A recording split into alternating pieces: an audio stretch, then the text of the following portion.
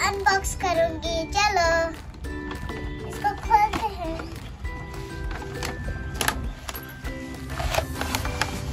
देखिए, यहाँ पे बॉल दो चॉकलेट है और यहाँ पे इसका ड्रेस है और इसका बैग है और ये बियर है और ये दो वो डॉल है। ये भी अच्छी है ना?